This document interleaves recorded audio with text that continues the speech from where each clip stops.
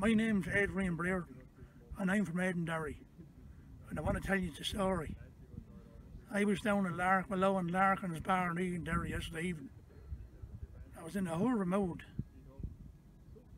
I lost my job in the meat factory. The boss man, I called him a pig and he fired me. So I went home and my mom was in bed with a Polish outlet. So I broke up with her and I took the 500 euro I had out of the bank.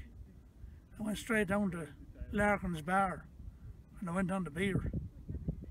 And this lad came over to me and he says, you're hurt down looking. I said, what, what's it got to do with you? He says, my name's Tommy Devine from Kildare. He says, what's wrong with you? I says, well, I broke up with the mat.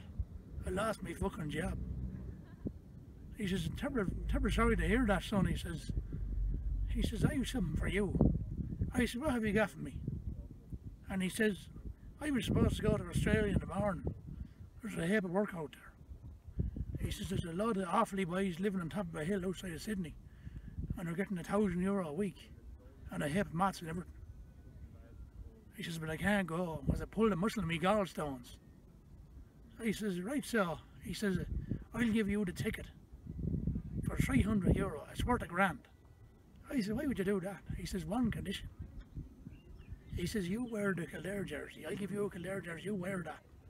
The flight goes at 3 o'clock in the morning. And it's yours for 300 euro. So I thought to myself, fuck it, says I. So I've nothing to lose. So I've no mat, no job. So I bought the, I put the jersey on anyway.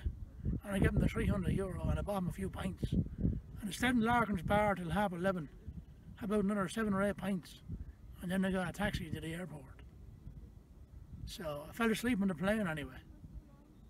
But I woke up and came out anyway. Couldn't understand a word the whores were saying. It was nothing like, uh, well, nothing like EastEnders or what you call them yokes?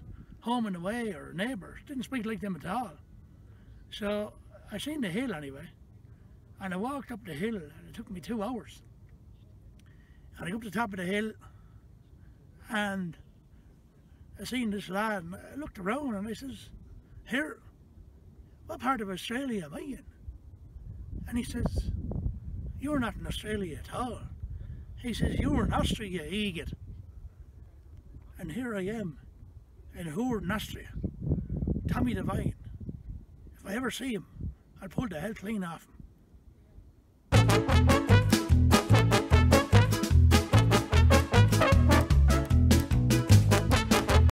Thanks a million for watching folks. If you can do me a big favour, if you haven't subscribed already, just hit the old subscribe button down there on the bottom right hand side. And if you're looking for any voiceovers or jingles or private messages in over 40 accents, you'll find me on fiverr.com uh, under JP Wright Voice. Grand, thanks.